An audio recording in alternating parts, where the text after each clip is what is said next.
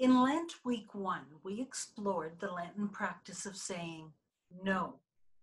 It is easier to say no to something when you've already said yes to something else.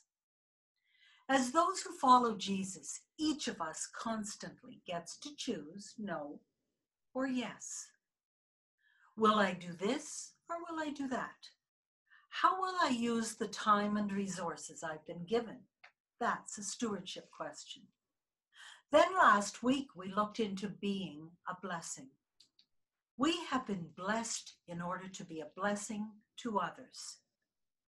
We look deeper into the stewardship question. As people of faith, it's up to each of us to decide how are we going to use everything God has given us.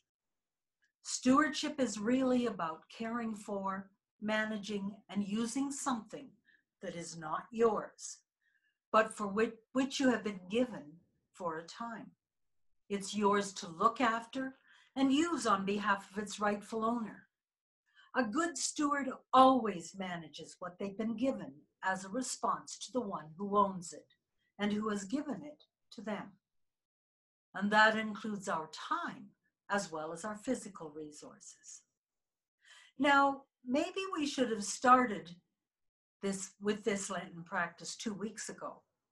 But today we're going to talk about worship. Worshiping regularly and often. One day, two people from the same congregation were having coffee and talking about church stuff. You know, the regular chitter chatter. Finally, one says to the other, You know, I've gone to worship for 30 years now, and in that time, I've probably heard something like 3,000 sermons. But the, for the life of me, I can't remember a single one of them. So I think I'm just wasting my time. And the ministers are wasting their time by giving sermons at all. Well, the other person thought for a moment and then replied, You know, I've been married for 30 years. In that time, my wife has cooked some 32,000 meals. But for the life of me, I cannot recall the entire menu of one, not even a single one of those meals. But I do know this they all nourished me and gave me the strength I needed to do my work. If my wife had not given me these meals, I'd be physically dead today. Likewise, if I had not gone to worship for nourishment, I'd be spiritually dead today.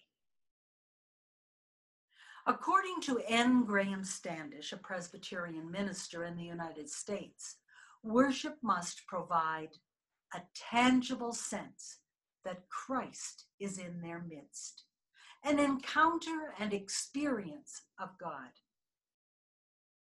Worship is not just a show we attend on those Sunday mornings when we have time.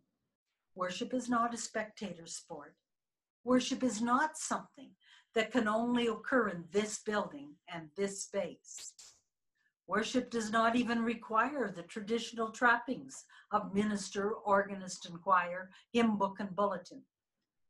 In worship, as we sing songs, listen to messages, read through scripture, and pray together, we can experience that precious love of God that is for each of us. And in that love, discover a sense of belonging and perhaps even purpose for our own lives. Worship takes us into the heart of God. Worship, like stewardship, is about our response to God, who God is, and what God does. As part of our worship today, we read Psalm 95. It starts with our response. Let us shout with joy to the rock of our salvation. Let us come into God's presence with thanksgiving. Let us joyously shout to God with songs, songs of praise. Sounds like worship to me, which is our response to, for you are a great God, high sovereign above all gods. In your hand are the depths of the earth. To you belong the mountains. The sea is yours, for you made it. Your hands also formed the dry land. Who is God? God is great. God is the creator. God made it all and owns it all. And God is good. God provides everything for us. All that we have has come from God. So we thank by God by using some of the time that God has given us to come together with other followers of Jesus for worship regularly and often. When we worship, we enter into God's presence. We start by settling ourselves and centering ourselves. Often, that involves silence, prayer, and music. We listen for what God is saying to us, reading scripture, hearing a sermon or message, watching a video, talking with someone, or practicing quiet meditation. Any of these can become vehicles through which we listen for what God is saying to us. We respond as a result of our experience of God's presence and listening for God's, God's message to us. Now, what do we have to do? A time of dedication or commitment, praying both for ourselves and for others each of us responds differently depending on what we heard or felt from God. And we need to do this thing we call worship regularly and often, as the churchgoer said about being spiritually nourished. So here's what we're going to do, how we're going to work this week for our Lenten practice. Worship regularly and often. Think about stories that inspire you, about the ways that your church is living out its mission and making a difference in people's lives. This community of faith asks you to respond by giving generously and consistently to your church, both here in your local congregation and beyond through mission and service. We cannot work as your church unless this happens. This week, I want you to use some of your time every day to worship. Now, we won't be holding daily worship here in the church building, but yes, you can do this together with others or on your own.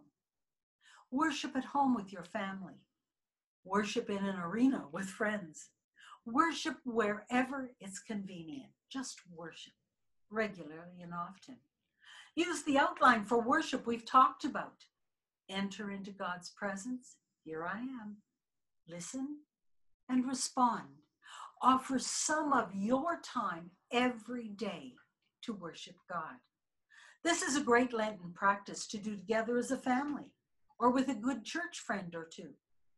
If that is not possible, you can worship wherever you are, whatever you see in front of you, whatever your heart says. To start, offer a prayer and a bit of silence to enter into God's presence and into worship. Maybe sing or listen to a worship song because there are lots of them online. Then read the scripture from today's worship or remember a particular scripture message that seems important today. Listen to what God, through the Holy Spirit, is saying to you through them. Consider then what will be your response. If you are worshiping as a family or a group, talk about it. What did you hear God saying?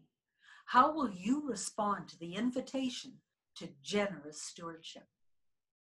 Offer a prayer for your family and friends and pray for your church. Sometimes it is easier to make it a habit by choosing a particular time of day or a particular place. The important thing is to use some of your time every day to worship. Then come back next week ready to share a brief story of how this Lenten practice worked for you and how it helped open you up to God, or maybe it didn't, as you made space in your life to actively live out the way of Jesus. Amen.